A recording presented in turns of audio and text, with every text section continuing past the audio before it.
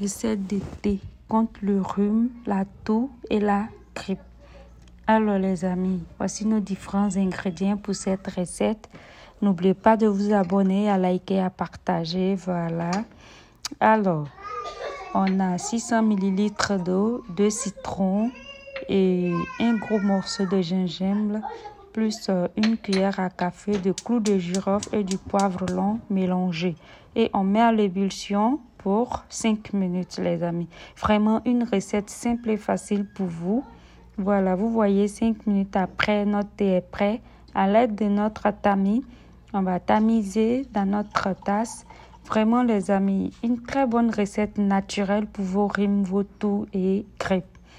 Alors, pour ceux qui cherchent la recette de la recette naturelle contre vos toux, vos grippes, vos rhumes, voici une recette pour vous et on rajoute le miel. On va bien mélanger et on peut le consommer chaud comme tiède. Et voilà. Vraiment les amis, une recette simple pour vous. N'oubliez pas de vous abonner, à liker, à partager. Et je vous dis à bientôt pour une prochaine vidéo. Bisous, abonne-toi.